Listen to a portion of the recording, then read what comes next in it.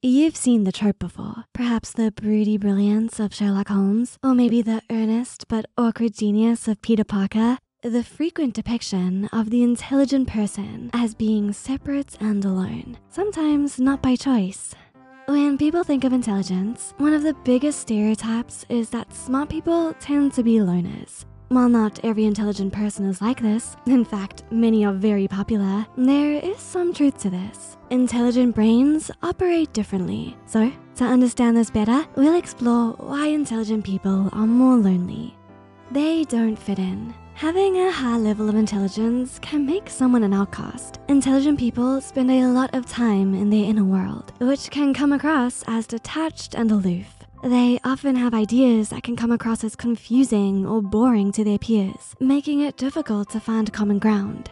This can make them more awkward in conversation. The things that they say and do are eccentric and odd that to others may just seem wrong.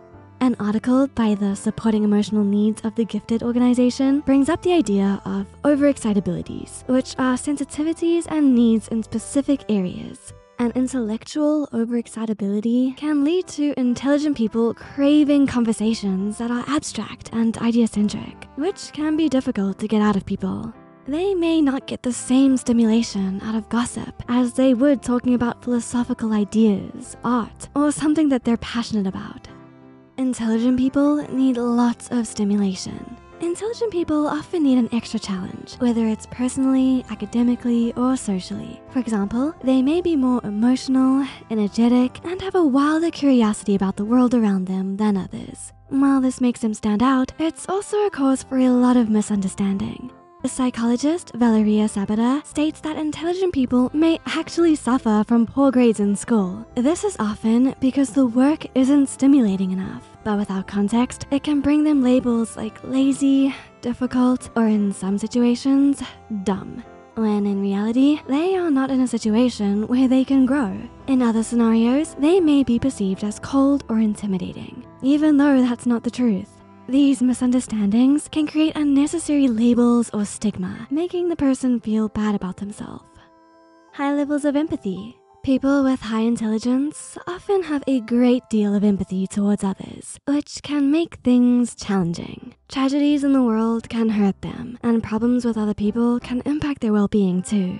Another overexcitability from the SENG organization deals with emotionality and empathy. Having a high level of empathy makes it difficult when dealing with people and their issues. So people like this often will need more time to themselves. Similarly, news events and ethical problems can aid in bringing these people down, causing them to unplug. While intelligent people may seem cold and distant, really, they feel so much that they need time to themselves to process.